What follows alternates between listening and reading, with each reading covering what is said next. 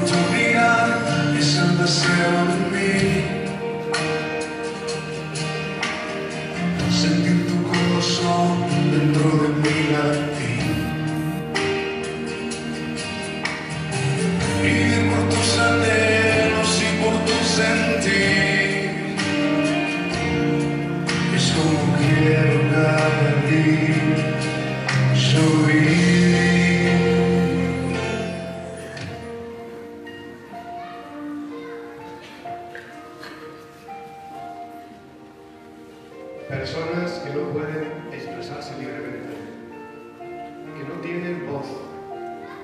que sufren silencios opresores, víctimas de la desigualdad y el maltrato.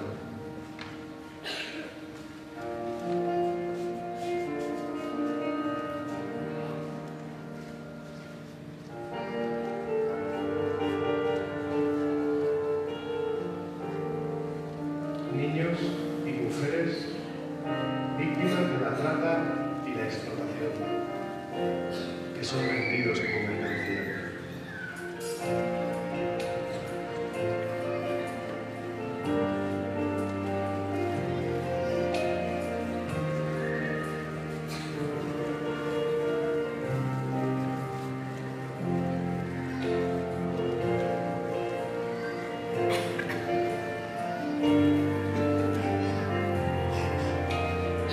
Jóvenes que viven el flagelo de la la y la soledad como compañeras de camino.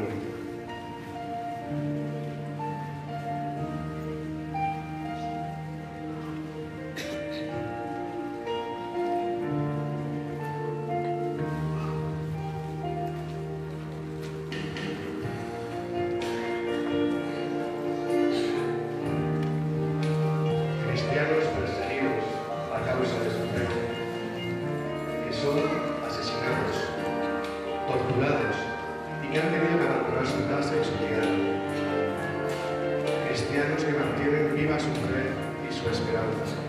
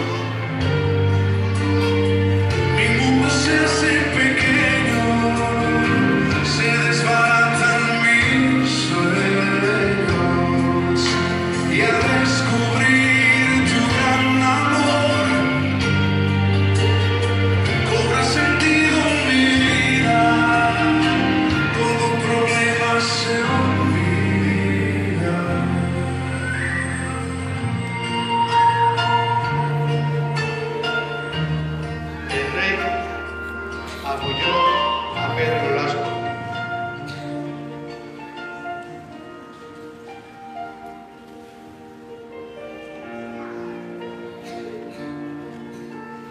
Y también contó con la ayuda y la bendición del obispo de Barcelona. Qué coincidencia. Como nosotros en Tucumán por nuestro obispo Carlitos.